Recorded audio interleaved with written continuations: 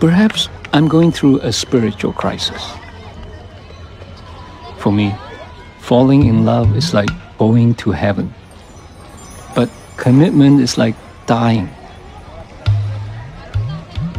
I want to go to heaven, but I don't want to die.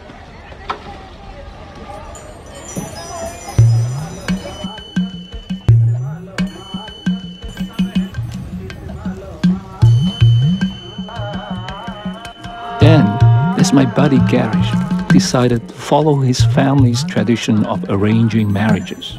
How could you possibly decide to spend the rest of your life with a woman you only met once?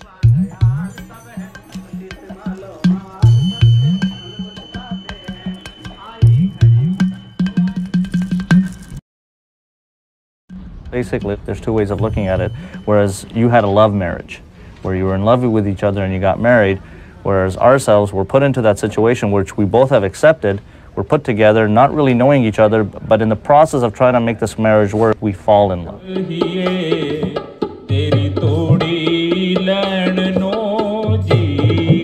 Imagine if I was to marry someone that was non-Indian, because marriage in itself is such such a difficult task.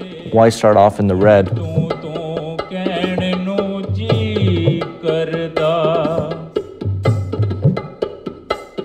Found someone that also believed in the same thing. I'm talking about coming on Sunday to my uh, church, knowing what time the service is, knowing exactly what is expected from us here, going to, you know, relatives' houses, following the customs and traditions. At least with Hindu, she's already aware of all, of all of these customs and traditions. I don't have to worry about that. Everything else uh, we may disagree on, financial, but that you would disagree regardless of the culture.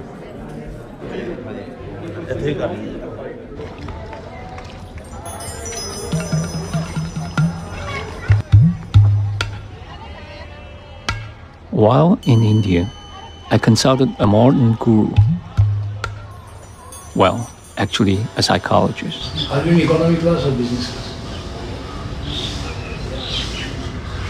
Marriage is a public commitment of a personal relationship.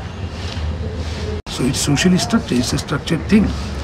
And especially in arranged marriages, you don't have that emotional relationship.